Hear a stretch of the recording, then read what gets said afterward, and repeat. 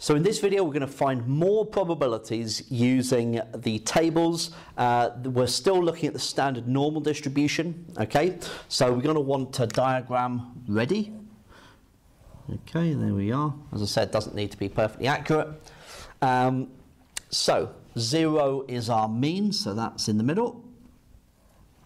So we should be able to directly go to number one and ask, right, what's the probability of z being greater than zero? Well, how much have I shaded? I've shaded a half of the diagram, and so this is just 0.5, okay? Just as it was when we looked at the probability of z being less than zero. Um, now, if you're asking, okay, well, what if probability of z equals zero? What's the probability of z being equal to zero? Well, um, to that I answer, the answer is zero. Okay, the probability of z being equal to any particular value is actually zero. So it would be like um, go out and find me um, a student across the country who is 17.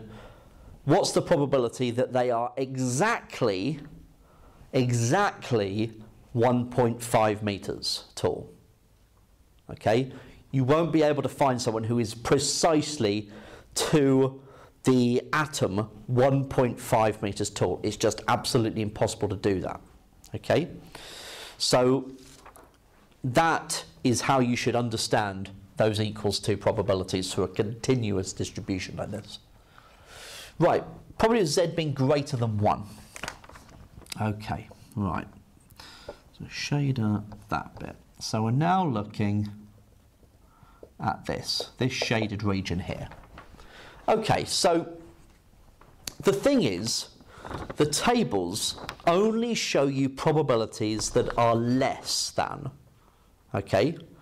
They don't show you greater than ones, which is a bit of a problem.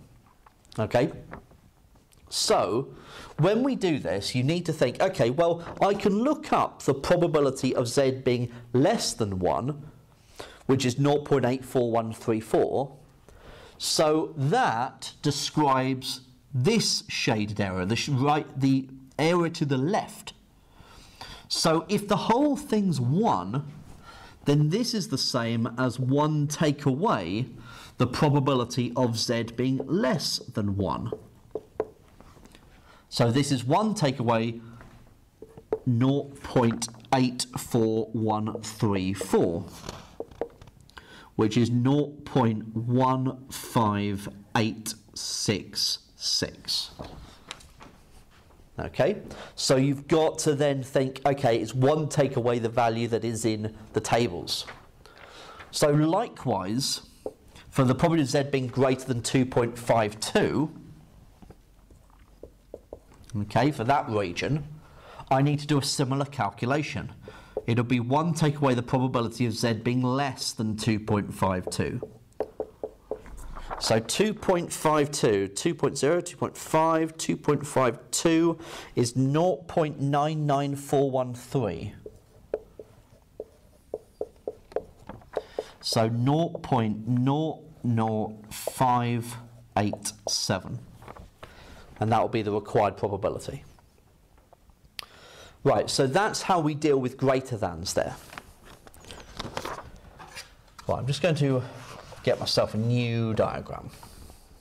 Right, because now we're looking at the probability of z being less than minus 1. So minus 1 is down here. What's the probability then it being less than minus 1?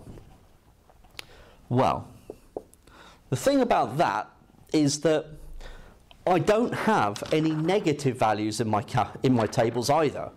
Okay, like I didn't have uh, any greater thans, I don't have any negative values. So how can I work this out?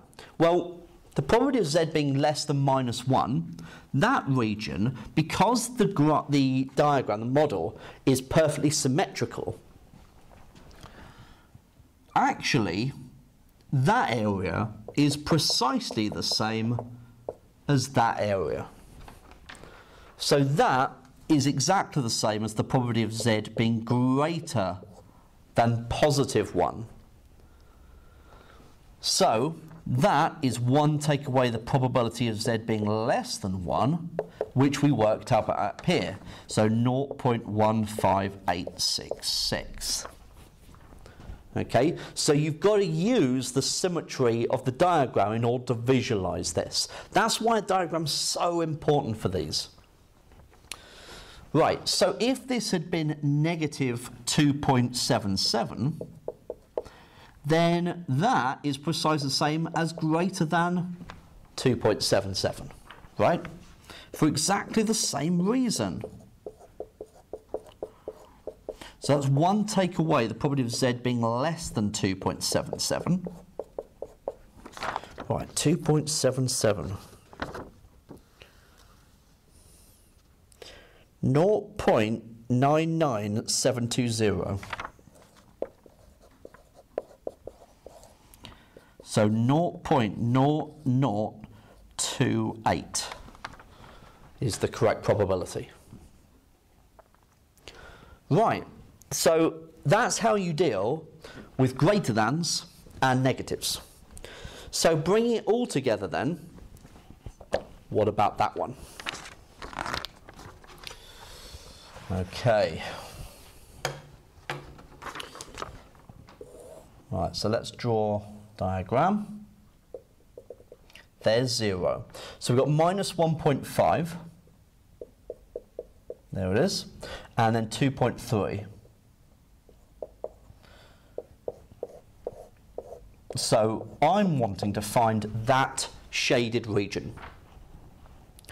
So how can you do that? Well, the way to think about this is that if I worked out the probability of z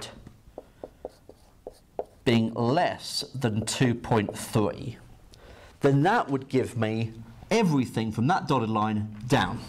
Everything that way. I don't want all of it. I want all of that take away from that dotted line down because I don't want that region. So I don't want z being less than minus 1.5. So this one I can easily look up in my calculator. This one, I've got to remember that actually finding less than minus 1.5 is the same as the probability of z being greater than 1.5. And the way to calculate greater than 1.5 uh, is to then do one take away the probability of z being less than 1.5.